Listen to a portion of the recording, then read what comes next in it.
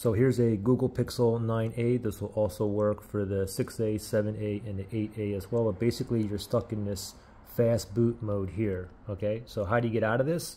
Very simple. If you look up here, it says start. Okay, so what we want to do is you use the volume the volume rockers up and down. Okay, so if I go down, you can see it restore bootloader, recovery mode. Just keep going down, or you can go up. It doesn't matter until you see power off. Okay.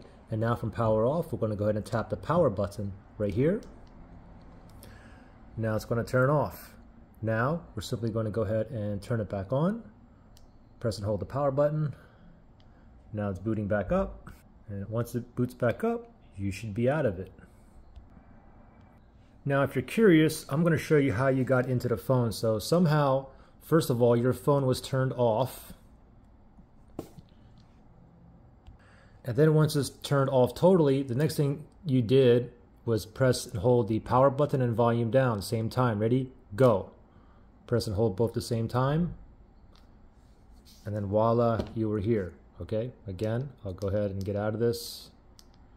Just go to power off and then I'll turn it back on. And just turn it back on here now. And we'll be out of it when it boots back up. And there you go. Hope that helped you guys out.